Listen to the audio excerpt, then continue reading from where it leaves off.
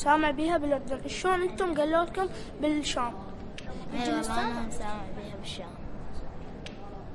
أنا متأكدين. بس هسه راح يجي الأستاذ وأنا أسأله. ها هي؟ بس إذا طلعت صحيحة بعد لا تناقشوني أبد. يجي الأستاذ يجي الأستاذ. سلام عليكم ورحمة الله وبركاته. شلونكم زينين لو مو زينين؟ إذا صدق زينين صلوا على محمد وآل محمد.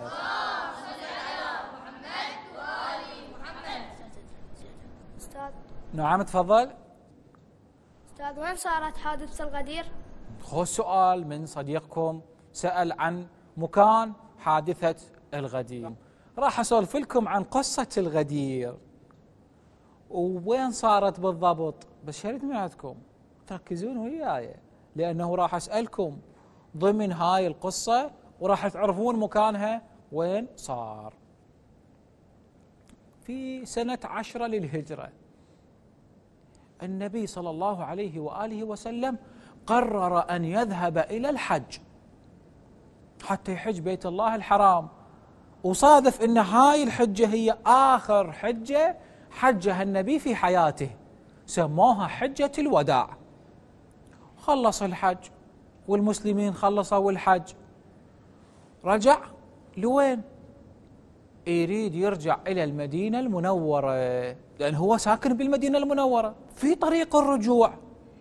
الوحي الملك جبرائيل نزل على النبي صلى الله عليه وآله وسلم بآية. هاي الآية شو تقول؟ بسم الله الرحمن الرحيم. يا أيها الرسول بلغ ما أنزل إليك من ربك وإن لم تفعل فما بلغت رسالته والله يعصمك من الناس.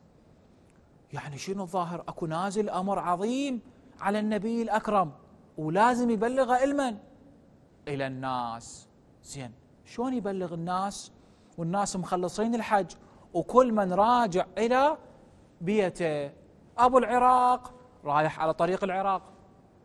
وأبو اليمن رايح بالراحلة بالرحلة ويا من؟ إلى اليمن. وأبو الشام كذلك. فسوى النبي. خو ما كان عندهم تليفونات يظل يخابرون. دز مراسيل. المراسيل شو يسوون ذولا؟ يصعد أسرع وسيلة نقل موجودة. فدز النبي المراسيل قال لهم ركبوا الحصان وعلى السريع. الحجاج بلغوهم أكو أمر كلش مهم. لازم ترجعون النبي يريد يحكي وياكم دز للعراق دز إلى طريق بلاد الشام إلى طريق اليمن إلى كل الطرق. بلغوا منه الحجاج. الحجاج قالوا شنو؟ شكوا قالوا لهم ما ندري. تعالوا واسمعوا الكلام مباشرة من النبي صلى الله عليه وآله وسلم. هذا الحكي وين صار؟ بيا منطقة. حتى أجاوبك على سؤالك. بمنطقة اسمها غدير خم. وهاي منطقة بين مكة والمدينة. منطقة بها أشجار بها عين ماء.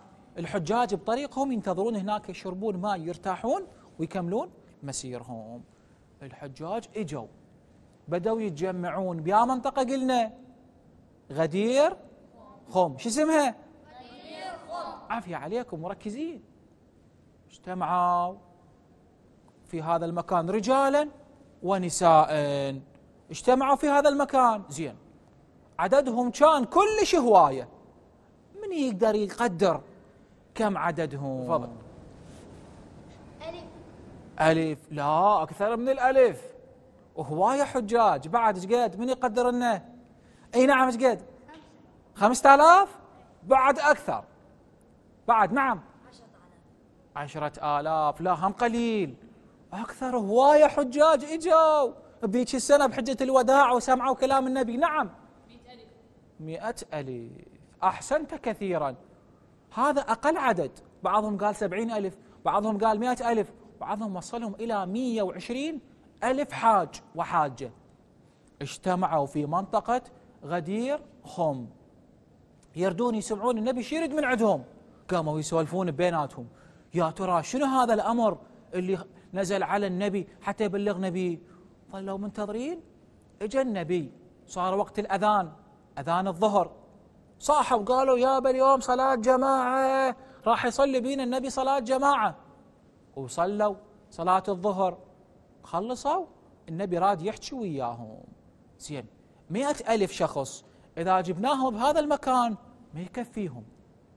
فشلون يشوفون النبي بهذا الازدحام؟ سووا منبر. جمعوا أقتاب الإبل. خلوا واحد فوق الثاني. فصار شلون التلة العالية؟ صعد النبي عليها. وبدأ يخاطب المسلمين بصوت عالي. قال لهم؟ أيها الناس أوشك أن أدعى فأجيب. إني تارك فيكم الثقلين. كتاب الله وعترتي. يعني أنا أحس وأشعر أنه هاي آخر أيام حياتي. بس أنا إذا الله توفاني خو ما راح أعوفكم وحدكم لا تارك بيكم شيئين. كتاب الله القرآن. ومخلي لكم بي الله تعالى معجزة من السماء كل شيء مخلي بي. وبعد عترتي أهل بيتي اللي هم منه من السيدة فاطمة الزهراء والإمام علي إلى آخر إمام. الإمام المهدي عجل الله تعالى فرجه الشريف. ما أن تمسكتم بهما؟ إذا تبقون تأخذون بكلامهم لن تضلوا بعدي أبدا. بعد ما أخاف عليكم. لا تضلون ولا تدخلون نار جهنم ولا تتبعون إبليس. الدورج قال لهم بعدين صاح على الإمام علي قال يا أبا الحسن صعد وين؟ صعد يم النبي الأكرم رفع يده. هيك شان لزم إيده ورفعها. بحيث ذول المئة ألف القاعدين كلهم شافوه. قالوا هاي ليش النبي هيك يسوى ليش صعد بس الإمام علي ما صعد غيره؟ كل إحنا واقفين. فقال النبي لهم أيها الناس من أولى بالناس من أنفسهم. يسأل المسلمين قالوا الله ورسوله أعلم. فقال الله وليي وأنا ولي المؤمنين. فمن كنت مولاه فهذا علي مولاه. شايل إيده يقول لهم هذا وليكم من بعدي. اللهم وال من والاه وعاد من عاداه. وانصر من نصره واخذل من خذله. الناس يسمعون من سمعوا هذا الكلام؟ هواية فرحوا المسلمين قالوا إيه شو إحنا بداية الخطبة مال النبي؟ خفنا. قلنا شا إذا النبي ذهب إلى دائرة حقه إحنا وين نروح؟ شو نسوي؟ هسه اطمئنينا. يعني عرفنا الخليفة والأمير من بعد النبي هو الإمام علي عليه السلام. خلص النبي خطبته خطبة الغدير ثم نزل. أمر المسلمين. قال لهم سووا خيمة خاصة بالرجال وخيمة خاصة بالنساء حتى يبايعون الإمام علي بالولاية من بعدي. الناس نزلت مئة ألف واحد. قاموا يصحون باخن باخن لك يا علي أصبحت مولانا. ومولى كل مؤمن ومؤمنة. ويسلمون على الإمام. بمن؟ بإمرة المؤمنين. خلصوا الرجال كلهم. راحوا إلى خيمة النساء. جابوا؟ جابوا طشت. خلوا بماء. وخلوا حاجز. الإمام علي خلي إيده بالطشت. تجي المرأة تخلي إيدها على الماء وتبايع الإمام بالولاية من بعد النبي. يتبعوه من بعد النبي. خلصت. هذا المبايعة خلصت. من بعد ذلك الحجيج رجعوا كل واحد رجع لوين؟ إلى بلده وهو يسولف.